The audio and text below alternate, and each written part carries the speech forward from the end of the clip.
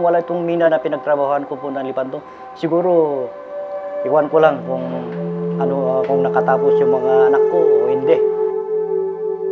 Kasi dito po, mga pag-aaral ng mga bata, libre, lahat ng school service, lahat yun, facilities, housing, na libre po.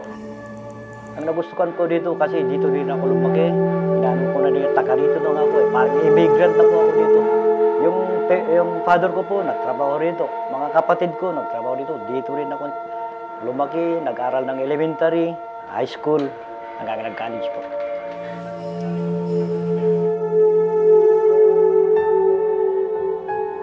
Pagpasok ko pa lang actually ng company, makita mo ang ganda. Well secured yung area.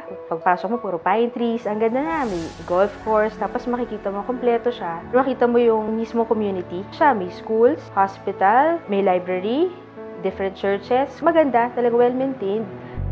Siya nakita mo yung talagang concern ng company sa tao. Sila, kung gaano nila alagaan yung employees nila. And not only their, yung employees, syempre yung dependents.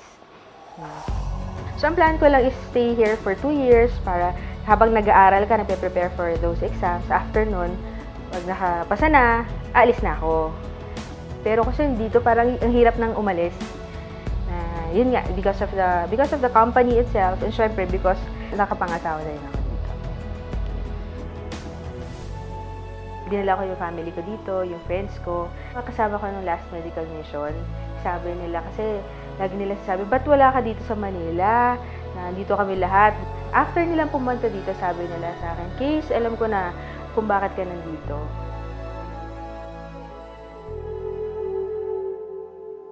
In Mayak dito idi 1983 nga nag-apply akas may nga maker.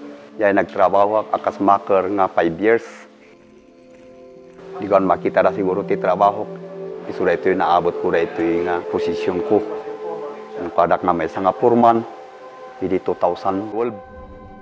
Idi 2017 December.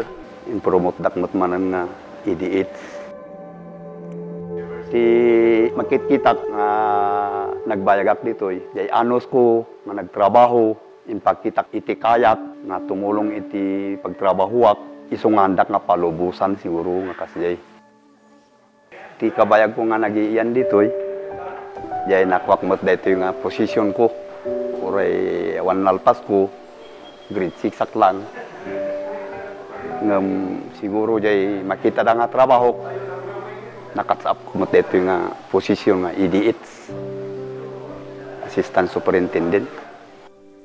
Kan siyak kunak nga rod may saat nga pubri. Isuti nam na mauk laeng. Ito lang lipan to tinang padasak ti kwa. Nagtrabaho wak nga nabyagan ti pamilya sungan wa dat siguro jay ili jakamu. No nag-eskwila ti pamilya ko inuhan.